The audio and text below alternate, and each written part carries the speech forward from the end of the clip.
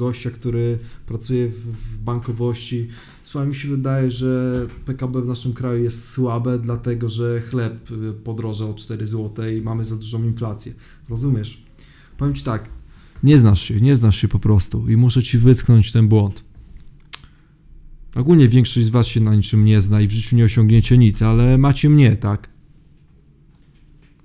Możemy się łączyć wśród tych nieudaczników.